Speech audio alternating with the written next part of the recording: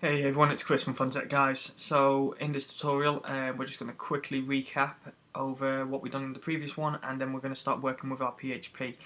Um, so yeah, as I say, the last tutorial we created a HTML page. It had some input fields, a text area, um, a submit button which said it was which has the value of send email, and then we also left the action field blank, so it's basically ready to submit to itself and yeah, ready for us to start working. So I'm going to try and keep this as, as short as possible. Um, but it may have to go over in an additional video. So we see how we get on. Okay, so I'm going to start flying through it. So what we need to do is, we, first of all, we just need to declare our PHP, obviously. So I'm going to declare that, and then I'm going to say, right, if submit, um, so dollar underscore post, email. So what I'm saying is, has the form been submitted? So if there's something in the in the email variable, then we'll process this form because something is in the field. Now there's better ways to do this, but as I say, I'm just trying to, to fly through this video so we can cover as much ground as possible. So um, what, what do we need to do here? Well, it's always best case to wireframe. So we need to declare some vars. So we can declare some variables like errors and things like that that we can use later on. Um, check. Oh, that's not right check and validate fields, um, handle errors, uh, process form based on errors, providing it's zero. Okay, so let's go ahead and declare some vars. So let's do um, let's do errors equals an array and success equals false. So what we're doing is we're just saying, right, the, the, the success is always going to equal to false unless we um, we specify otherwise. So we won't handle, you know, we won't process the page unless um, success is equal to true. Um, or we'll, you know, once once the page is fini- finished, then we'll say it's it's true and it's it's been successful. So um, and then obviously errors, which is spelt wrong. Errors um, is just an array, so we can keep on adding items into it. So um, at, further down here, you know, handle errors, we will say right, okay, let's loop through the errors array. If there's any uh, uh items in it, we're not going to process the page because we need to handle these errors first. So that can be anything from um, I don't know the the, the length of um, the message field is too short, or you know email isn't a valid email, or you know um, it can be a range, a range of things, and we'll check some of those now. So let's go ahead and just check and validate some emails, uh, some, fields. Sorry. So if, and we're going to put an else in here. Um, so what we're doing is we're going to say if something has been submit, um, so something has been uh, something has happened, then we're going to do something else. We're going to do something else. And in this instance, we're going to say if um, is set. So we're going to use the is set function. Um, you know what? I'm just going to add that up here as well. Is set. And I'm going to wrap this in brackets. So we're saying if is set. So we're going to go underscore post. Um, email and not empty.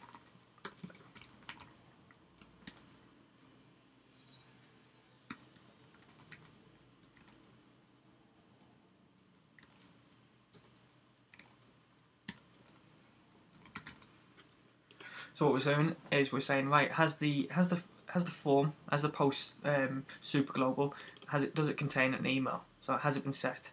And if it has been set, let's make sure it's not empty as well. So um, the form has received something. So in this instance, um, email is there, perform checks. Else, email has not been submitted. So then this is where we can go, um, oh, not null, email equals null. Because obviously it's it's it's blank and we'll we'll do this we'll use this variable later on. But we can say email is null and we can say errors oh square brackets um, uh, email is a required field. So what, what we're doing is we're saying right um, you need to submit something into email so put something in in email um, So then let's say, oh, you know what, I'm going to take email off because let's just do it is set on the post. Okay, um, right, we need to perform checks. So we need to say, right, if, and let's do it again, do it if else. So if else, so what we're going to do here is we're going to say, right, has, um, is the, so the, the email has been set because we're running this block of code. Okay, if it has been set, is it a valid email? If it isn't, if it is a valid email, do something else. We're gonna do something else, um, and we can say, um, so if filter underscore var, and we're gonna do dollar underscore post, and then here we're just gonna do filter underscore validate underscore email. So what we're saying here is if the email is a valid email, do something. So email is a valid email. Email is valid is a valid email. Let's just do email is valid. Email is valid. Then let's set a variable. So we're going to say, right, okay, email is valid. Let's clean up um, uh, the post and then yeah, declare the variable. So HTML entities, and we're going to say dollar underscore post. That's not dollar underscore post. That's dollar underscore post. So here we are saying, um, yeah, as I say, We've checked if it's a valid email because it has because it is a valid email because it's gone through this function. And if you check um, the filter underscore var on the PHP manual, then it will give you different flags that you can use. So you can change this to say something like um, string. You know, you validate that this is a is a, is a string of text. However, in this instance, we want to validate that it's an email. So um, because it's run this block, because it is a valid email, then let's clean up the data and set the array so we can use our email later on. So we're saying, right, it has met, so we're going to clean everything up. We're going to say, right, if you submit HTML elements or, or whatever, um, so let's just say you submitted an angle bracket rather than you, uh, it, rather than it passing an angle bracket into the array, into into the variable, sorry, we would use the HTML entities. So an angle bracket would be like um, an ampersand, LT, and then a semicolon. That's just basically that's the HTML entity for the angle bracket. So if you wrote ampersand LT or GT, you know, for less than and greater than, and semicolon, that's basically just passing in. Um, you know, it's, it's just it's a way of validating, uh, you know, inputted text basically. Um, and then what we're going to do down here is we're saying, right, okay, in this instance then, it hasn't validated. So we can do, um, right, errors, square brackets, equals, um, please enter a valid email. So we can save that. So we've performed all the checks that we need to. We've checked if it's been submitted, if it has, if it hasn't, and we've also checked if it's valid, and if it isn't valid, and then we've also cleaned up the data. So we've done a fair few checks on this. Um, now it's worth mentioning that some of the things that I'm doing in this aren't going to be best practice. Things like you know checking um, if there's you know like, uh, for instance. I'm going to be repeating quite a lot of the code, and in one of my previous tutorials, I said, look, if you can, if you're going to repeat code, then there's a function to do it. You know, pass the information into a function. Now there is a function, but I want to get this, uh, you know, kind of drilled into you a little bit that um, some of the stuff that PHP can handle and that, that we can do with PHP. So we'll we'll do it the dirty way first, and then we'll start refactoring the code, and we'll we'll we'll find nicer and cleaner ways of doing it. Anyway, so moving on, we're literally just going to repeat this process, but for the for message. So we're going to say if if um, is set dollar underscore post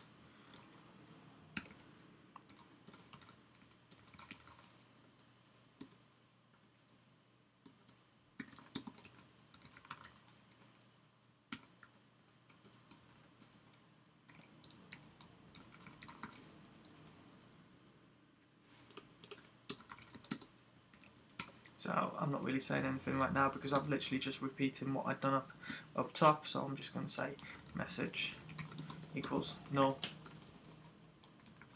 because obviously the um, because it's not it's not been submitted. So we're okay.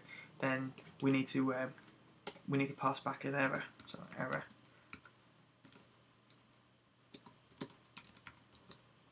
Um, message is a required field. Um, and then here we can say, right, okay, let's check um, string length. So let's say if here we're going to say uh, str then then so um, dollar underscore post um, message is less than 10 Okay, so what we're doing here, so in this instance, message has been set, but the string length is less than 10 characters. Um, so we're going to pass in a, a, message. So we can say, um, let's say errors equals, oh, square brackets, equals, um, message needs to be more than 10 characters. Let's leave it at that. Oh. Okay, and then if it has been, if it has passed, so oh, so what we can do is we can say message equals um, HTML entities, HTML entities, dot underscore post, message. So what we're doing, again, I'm just going to repeat over what, I've what I was just saying, is this block of code here is just checking if the message has been set. Well, no, sorry. This block of code is checking if the message has been set. If it has been set and it's not empty, then we're going to run this block of code. Otherwise, we're going to run this block. So let's just say hypothetically it hasn't been set. Okay, it's not been set. We need to pass message, uh, an error back and say, look, message needs to be a required field, and then we'll just pass a null value back. Um, then we come back up here. Okay, let's just say hypothetically it has been set. Okay, let's check the string length. The string length is less than 10 characters. So um, we need a, a, message which is a little bit longer than that, so let's pass an uh, an error back to the user. Okay, let's just say, again, hypothetically, it has been set, it's greater than 10 characters. Okay, let's clean up the data and set the variable. Okay, um, and I'm going to leave this part of the video there. We I should be able to try and get as much done as possible in the next video where we can um, just do a final check on the name, we can handle the errors, and then we can process the form.